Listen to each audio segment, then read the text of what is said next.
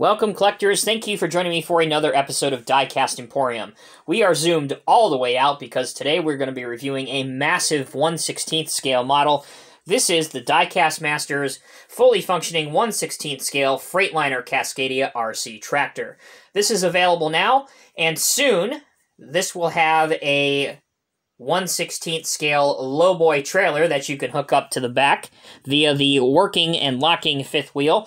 Now, we got a glimpse of the Diecast Masters RC trailer, uh, the lowboy trailer at the 2020 Nuremberg Toy Fair, but of course, because of Corona and everything else, it has been delayed. But I just checked with my contacts and my friends at Diecast Masters that trailer is coming, so very shortly you will not only have the Western Star dump truck RC that I previously reviewed, the Cat excavator, the diecast one that I previously reviewed, and now obviously the Freightliner Cascadia cab, but then you'll have the full set. You'll have the lowboy to haul around your excavator, and once it gets to the job site, you'll have the dump truck to take away the material. So very quickly, Diecast Masters is a man is amassing quite the large RC lineup, and this is yet again another step in that direction.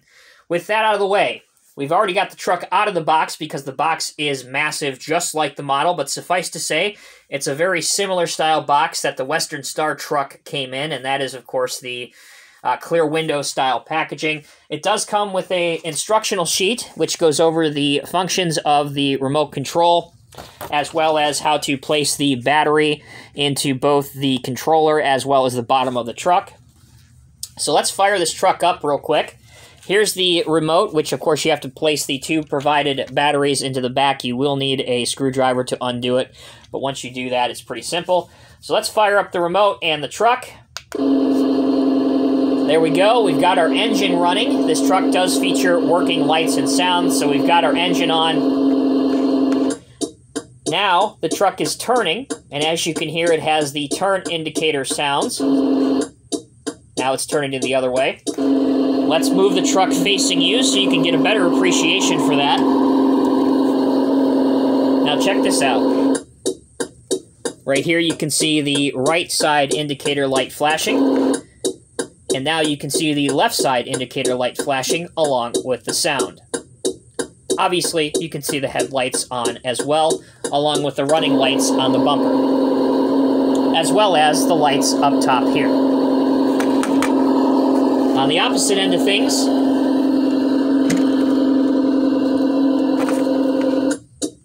now the left side light is blinking. Now the right side light is blinking. Really cool that they built not only the indicator sound, but the flashing lights as well. All right. So you know the truck steers. You know it has an engine running sound. It also has a reverse sound.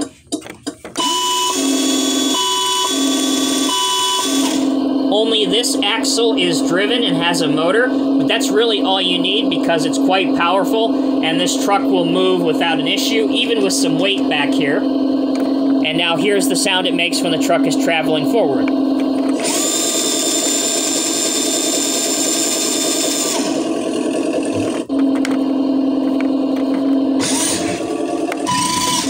Can see, it takes off at quite a good amount of speed in either direction, so it's quite powerful. Back here is your fifth wheel, and I told you that this is programmable and functioning on the actual remote.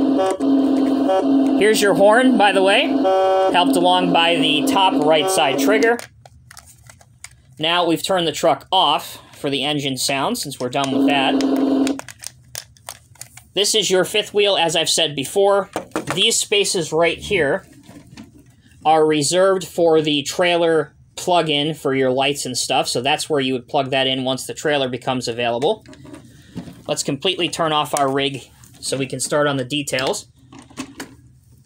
Here's your on-off switch, which you'd have to switch on to use the truck, as well as the on-off switch on the controller. Down here is where you would keep your rechargeable battery. You have to push down and forward on these two knobs while simultaneously unscrewing this, and that's where your rechargeable battery sits. I found from a fully depleted battery, it takes about an hour and 15 minutes or so to charge. This is your USB charging stick, and you can put this in your laptop computer or your desktop computer, and that's what charges your battery. Again, taking a look at the chassis of the truck, you can see that there's a different tread pattern on the front wheels versus the rear wheels. On the back of the truck, you have your Freightliner mud flaps, along with some DOT striping here. Diamond plated texturing at the top here, along with some nice wiring leading towards the functioning and locking fifth wheel. And again, once the trailer comes in, guys, I'm going to take this truck outside along with the excavator. We're going to play along with the trailer, see how it locks in, load the excavator on. We're going to have a lot of fun once we have all the pieces to the puzzle whenever they arrive.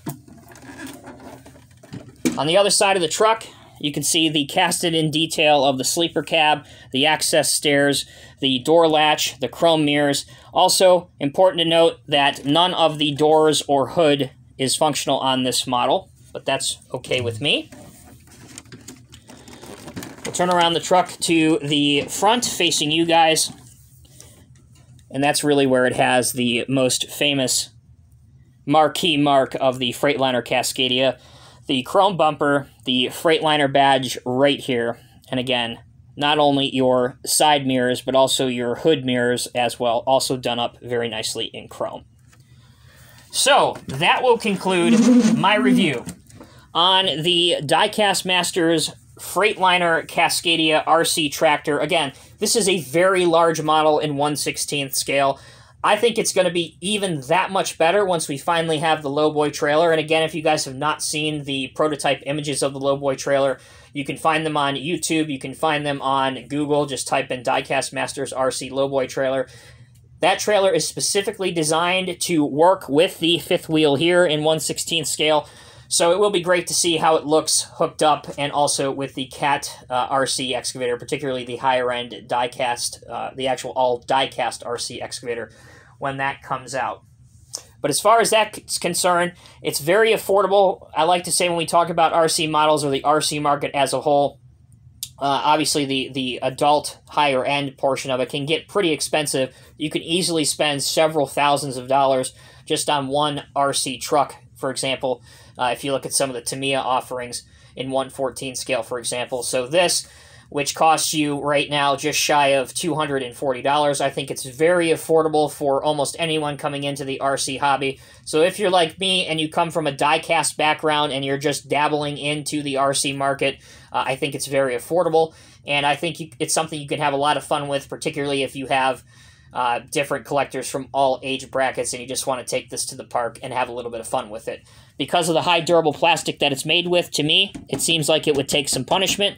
And again, I think this truck, as great as it is by itself, will even come into its own that much more once we have that trailer to put the excavator on it. Until next time, I'm Tommy with Diecast Emporium. Thank you all so much for watching. If you're interested in seeing the Diecast Masters RC Western Star dump truck, check out the link at the screen right now.